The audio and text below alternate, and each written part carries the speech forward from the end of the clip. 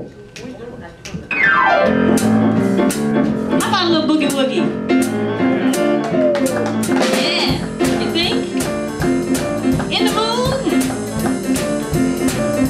In a little honky-tonky village in Texas, there's a guy that plays the best piano by far. He can play piano any way you like it, but the kind he plays the best is eight to the bar when he jams.